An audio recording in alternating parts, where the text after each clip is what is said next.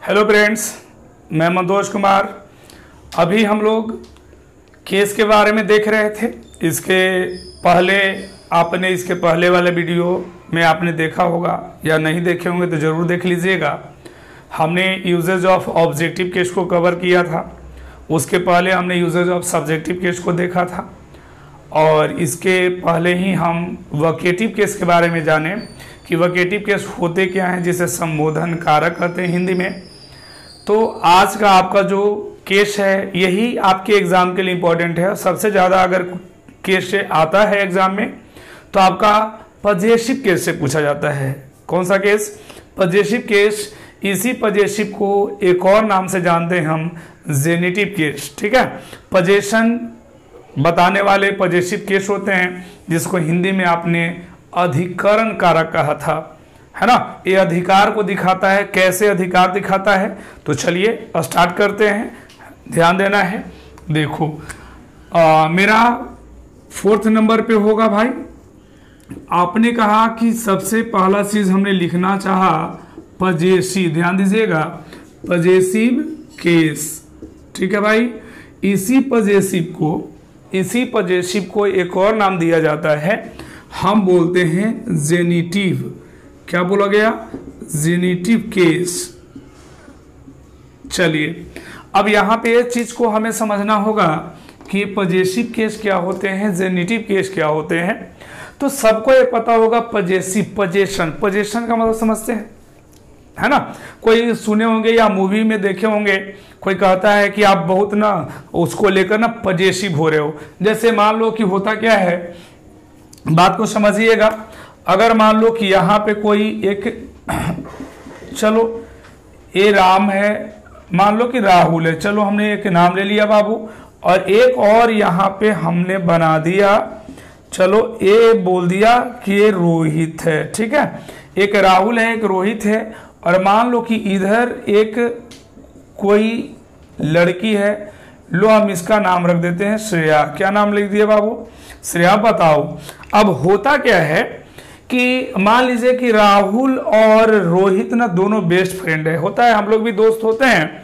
तो क्या होता है कि राहुल कुछ इस श्रेया को बोल देता है? जैसे होता है ना कि हम लोग जब कोचिंग स्कूल में जाते थे या जाते हैं तो आदत होता है एक कमेंट करने का। नहीं तो वैसे ही ये दोनों दोस्त है। ये क्या किया कि राहुल ने श्रेया पे कुछ कमेंट कर दिया कि है ना, जो भी बोला हो, अच्छी लग रही है, कुछ भी, है ना?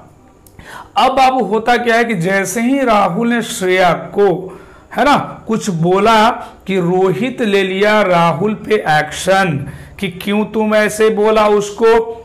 है ना? अब बात ऐसा था कि दोस्त तो राहुल और रोहित है, श्रेया तो बीच में कुछ है ही नहीं। लेकिन बाबू, जैसे ही राहुल पे एक्शन लेता है रोहित तो रोहित को राहुल बोलता है कि तू कुछ ज़्यादा श्रेया को लेकर पजेसिव हो रहा है। बात समझ में आ रहा है? पजे मतलब बेटा, इसके मन में ना कुछ और चल रहा था इसके प्रति। होता है कि नहीं? तो ये जो पजेसिव हो रहा है मतलब इसके प्रति इसका जो ज़्यादा अधिकार दिखा रहा है कि नहीं, तुम उसको ऐसे कैसे बोल सकते हो? तुम बोल ही नहीं सकते हो। तो यही चीज़ को हम क्या कहते हैं? ये क्या किया? अपनापन दिखाया। क्या दिखाया? अपनापन। और जहाँ पे अपनापन अधिकार दिखा जाता है, उसे हम बोलते हैं पजेसिव। समझ में आ गया? पजेसिव क्या होता है? इसी से बना है आपका पजेशन क्या बना है? पजेशन तो चलिए इस बात को थोड़ा समझ लीजिए कि पजेसिव क्या होता है। तो इसमें हमने कहना चाहा कि ये बताएगा ऑनरशिप क्या दिखाता है भाई? ऑनरशिप जिसे हम हिंदी में मालिकाना कहते हैं। या तो ऑनरशिप कह लो आप, या इसी को एक और नाम दे सकते हो बिलोंगिंगनेस क्या बोलते हैं? बिलोंगिंगनेस। ये बिलोंगिंगनेस को दिखाता है, जब कोई भी चीज़ आपसे, जैसे मान लो कि मेन पेन मेरा है तो हमसे बिलोंग कर रहा है ना तो मेरा इस पे क्या हुआ? अधिकार हुआ। राम की कलम है तो किसका कलम है बाबू? राम का तो राम का कलम पे अधिकार हुआ। तो पोजेशन का मतलब क्या होता है कि किसी चीज़ पे अधिकार जताना, अधिकार दिखाना। क्लियर तो यहाँ पे क्या बताया? ऑनरशिप मालिकाना बिलोंगिंगनेस इसका भी मतलब वही होता है। अब इसमें क्या होता है कि हमेशा ध्यान दीजिएगा कि एक चीज़ इसका हिंदी मीनिंग देता है बाबू, का, के, की। क्या देता है? जैसे मैंने बोला, राम की कलम, मोहन की गाड़ी। तो यहाँ पे क्या हो रहा है? ये ऑनरशिप दिखा रहे हैं। बात यहाँ तक क्लियर है? अब एक बात और सीख लीजिए। हमने क्या कहा? कि जो पोजेशन दिखाने का काम करते हैं ना, वो हमेशा लिविंग पोजेशन दिखाएगा। कौन दिखाएगा? पोजेशन हमेशा लिविंग दिखाते हैं नॉन लिविंग पोजेशन मान लो सपोज़ कि ये पेन हमारा है, ठीक है भैया? आपने अगर ये ले लिया तो हम आपसे ज़रूर बोलेंगे कि भाई मेरा कलम है दो, है ना? क्योंकि हम लिविंग है, हम पोजेशन दिखाएँगे। लेकिन ये भाई मेरे, इस कैप को अगर पेन से ले लो, है ना, अलग कर दो तो क्या कभी पेन बोला कि मेरा कैप है दो? क्यों नहीं बोला? क्योंकि ये पोजेशन नहीं दिखाता। समझ में आ रहा है बात? तो चलो ये बताने का काम कौन करेगा पोजीशन दिखाने का? तो सबसे पहला पॉइंट लिखना है। ध्यान दीजिएगा जी, कि पोजीशन जो दिखाने का काम करते हैं ना, वो करते हैं आपका लिविंग कौन पोजीशन दिखाएगा भाई? लिविंग एक बात यहाँ समझिएगा लिविंग कोई भी होगा तो तो नाउन ही होगा। लिविंग कौन होगा? नाउन होगा। होगा कि नहीं होगा? चलो, अब हमें दिखाना है पजेशन तो जिस पे दिखाना है वो बाबू यहाँ पे रहेगा। ये हो गया आपका पजेशन लिविंग नाउन कैसा है? लिविंग है, ये दिखाएगा पजेशन तो जब पजेशन दिखाने का काम करता है तो एक चीज़ और, ये जो पजेशन होगा, ये भी कोई नाउन ही होता है, अभी आपको मिलाते हैं। तो जैसी पजेशन की बात करोगे तो एक चीज़ हमें ऐड करना होता है। अरे बोल दो ना। हमने क्या लिखा बाबू? हमने क्या लिखा? सही बोले आपने। अपस्ट्रफी की पोस्ट्रॉफी। थोड़ा रुक जाना है। पोस्ट्रॉफी एस पोस्ट्रॉफी एस नाजीना, कभी भी हम इसको पोस्ट्रॉफी नहीं, हम बोलते हैं अपस्ट्रफे। क्या बोलते हैं बाबू? थोड़ा इसको ध्यान से पढ़ना है। अपस्ट्रफे अपस्ट्रफे ए आर है। अपस्ट्रफे, और जैसे ही एस लगाते हो तो इसको पढ़ देते हो, अपस्ट्रफी एस क्लियर है? तो ए अपस्ट्रफी एस है तो यहाँ पे हमने पजेशन दिखाने के लिए यूज़ किया। क्यों ऐसा करते हैं? वो थोड़ा अभी मिलाते हैं। थोड़ा देखिएगा एग्ज़ाम्पल से समझिएगा। अगर मान लो कि हमने बोल दिया कि राहुल, आगे हमने कह दिया कार ध्यान दीजिएगा। राहुल कार, यहाँ पे एक बात को समझ में आया होगा कि ये कार अपने आप में सर क्या है? नाउन है। हाँ की नाजी कार क्या है बाबू? नाउन है। इससे आधा आपका केस का सॉल्यूशन निकलने वाला है। थोड़ा सा बात को समझ लेना है एक बार। तो कार आपका नाउन है और राहुल भी आपको पता होना चाहिए। क्या है जी? नाउन है। बात समझ में आया क्या? तो एक बात सीखना है कि कभी भी नाउन के पहले नाउन नहीं आते। अगर आप ये पहली बार देखे हो तो पीछे वाले वीडियो ज़रूर देखिएगा। उसमें एक चीज़ हम मेंशन कर दिए हैं कि कभी भी नाउन के पहले नाउन नहीं आता। ये चीज़ हम आपको यहाँ पे थोड़ा दिखाना चाहेंगे कि नाउन के पहले इंग्लिश में या तो बहुआ आर्टिकल आता है। कौन आता है जी? आर्टिकल या तो आते हैं एडजेक्टिव। कौन आते हैं? एडजेक्टिव या तो आते हैं प्रीपोजिशन कौन आते हैं भाई? चलो, इतना बातें हमने आपको ऐसे ही, ये सब चीज़ें जो है किताब में नहीं मिलेगा मेरे भाई। तो ये सब थोड़ा सा नोट डाउन करने का कोशिश करिएगा, मेरे कंसेप्ट को समझिएगा। तो हमने कहा कि नाउन के पहले या तो आर्टिकल आएगा, या तो एडजेक्टिव आएगा, या तो प्रीपोजिशन आएगा। अब ये बात कहानी अगर समझ में आया तो कार जब नाउन है तो राहुल भी तो नाउन हुआ। तो कभी नाउन के पहले नाउन तो आता नहीं है। तो एक काम हमें दिया गया ग्रामर ने हमें सिखाया कि एक काम करो, इस नाउन को ना एडजेक्टिव बना दो। क्या बना दो? एडजेक्टिव बना दो और इस नाउन को एडजेक्टिव बनाने के लिए हमारे साथ एक चीज़ जोड़ना होगा। क्या भैया? अपस्ट्रफीस क्या जोड़ना है? अपस्ट्रफी जोड़ना है। जैसे ही आपने लगाया अपस्ट्रफी, अब ये नाउन नहीं, ये काम करेगा एडजेक्टिव का। किसका काम करेगा? एडजेक्टिव का ये अब दिखा रहा है आपका पोजीशन है ना? राहुल कार मतलब किसकी कार?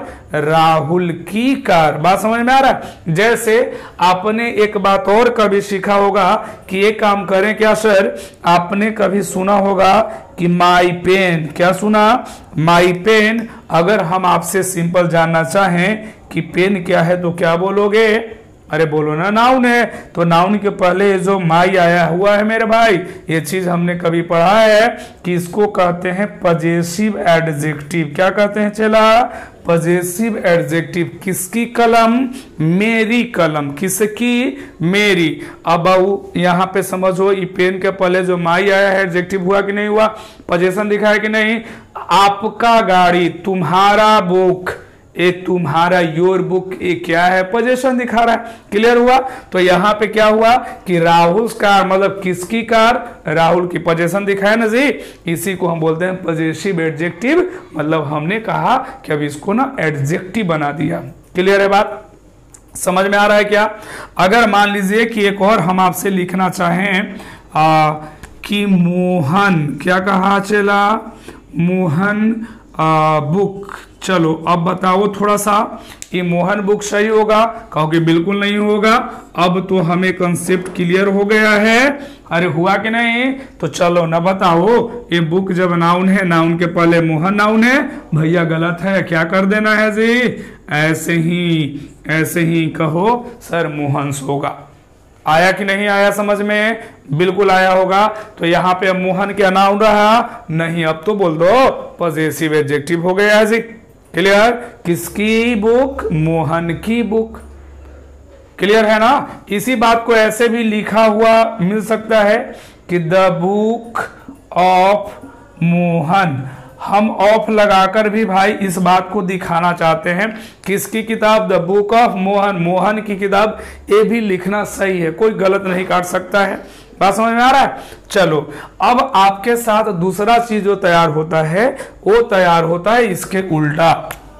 भैया, एक हुआ लिविंग तो दूसरा क्या होगा?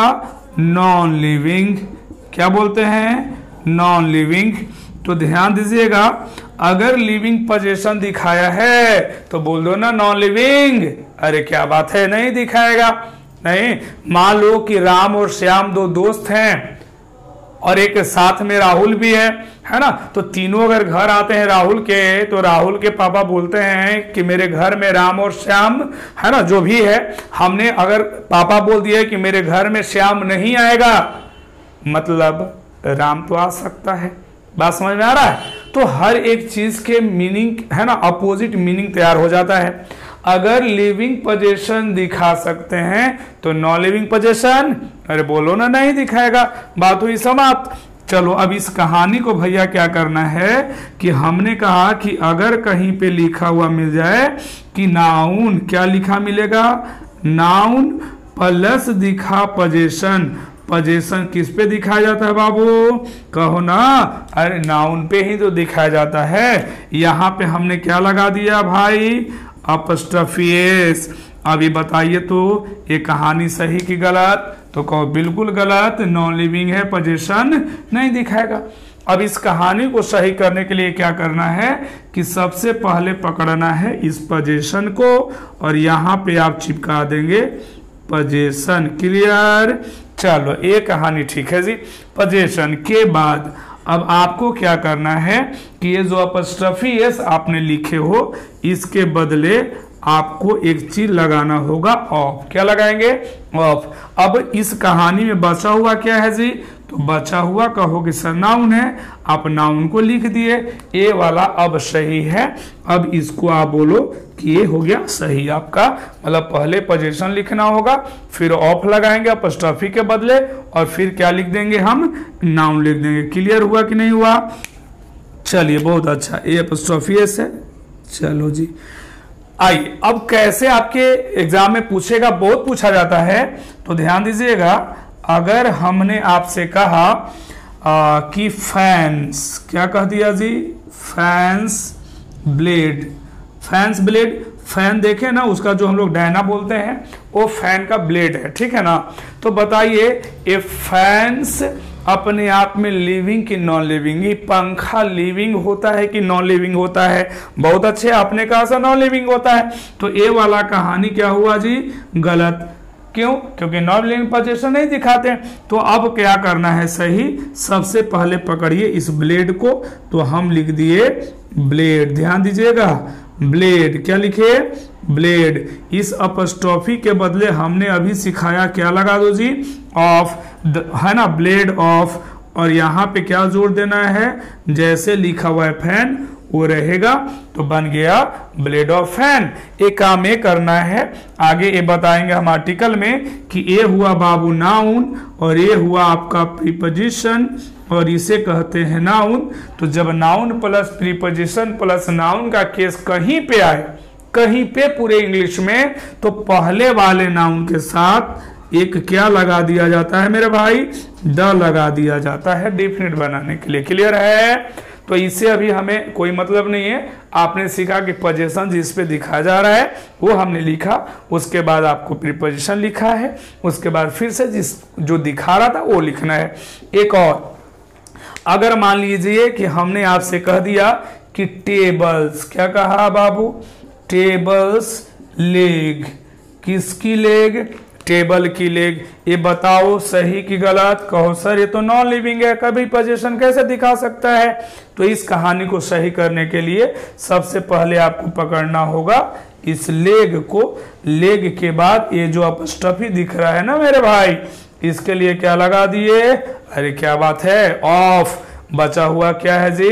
जो भी चीज़ बचा हुआ है एज इट इज़ हम लिख देंगे तो बनेगा लेग ऑफ़ टेबल और हमने आपको क्या सिखाया कि जब noun plus preposition plus noun का केस हो तो पहले वाले के साथ द लगा दिया जाता है। क्लियर तो ये बन जाएगा द लेग ऑफ़ टेबल समझ में आया बातें? हैं तो ये बेसिक नॉलेज है आपका केस का। आज से केस स्टार्ट हुआ है। इसके जितने भी सारे वीडियोस आएँगे, वो सारा में हम पूरे केस को डिटेल में जानेंगे। क्लियर है ना? तो ये बेसिक बातें था। ये आई होप कि आपको बहुत अच्छे से समझ में आया होगा। कैसा वीडियो लगा आपको? कंसेप्ट कैसा लगा? ज़रूर कमेंट करके बताना है। और बार बार बोलते हैं कि अगर मेरे चैनल पे नए हो तो ज़रूर इसको सब्सक्राइब कर लेना है। क्योंकि जो भी चीज़ हम यहाँ पे स्टार्ट करेंगे, उसको कंप्लीट पढ़ाएँगे। क्लियर है? है ना? तो आप ज़रूर अपना, है ना, सपोर्ट देना है। आप कमेंट, लाइक करके हमें, है ना, सपोर्ट कर सकते हैं। ठीक है? बस और तो कुछ चाहिए नहीं, बस पूरा वीडियो को देखना है, अपने दोस्तों तक पहुंचाना है। ठीक है जी? मिलते हैं फिर नेक्स्ट वीडियो में। Thank you so much